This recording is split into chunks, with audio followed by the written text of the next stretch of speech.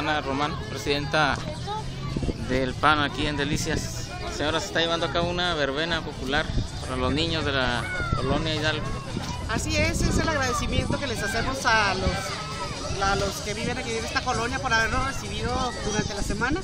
En la semana estuvieron la brigada, visitándolos en sus hogares, eh, este, dándoles a conocer las propuestas de los candidatos, de los tres candidatos. Y pues ahora tenemos el plan de terminar con una verbena en cada colonia. ¿Qué es lo que se les trae a los niños?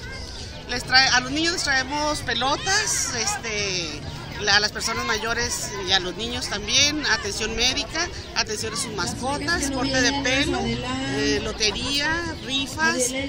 Pues es una fiesta para nosotros, es una gran fiesta el estar en campaña y el venir a compartir con ellos un momento aquí en sus... ¿Qué mensaje les da a los niños de Delicias?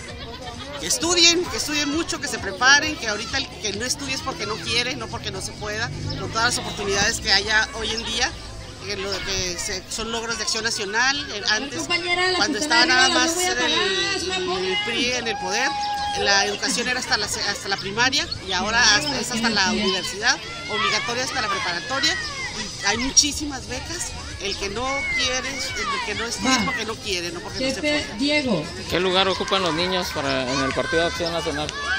es la esperanza que tenemos de ellos, es el, el, el crearles nosotros un México nuevo, un México donde se puedan vivir más sanamente, donde no tengan la amenaza de las drogas, en donde tengan más oportunidades de prepararse para llegar a hacer algo importante aquí en, en sus casas.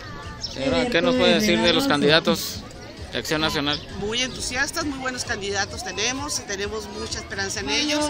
Los tres, ahora que ya se incorporó el, el, el licenciado Javier Corral, este, todavía no contamos con su propaganda, pero en cuanto llegue empezamos a repartir también, pero obviamente lo acogimos perfectamente, igual que a Josefina y que a José Luis como diputado.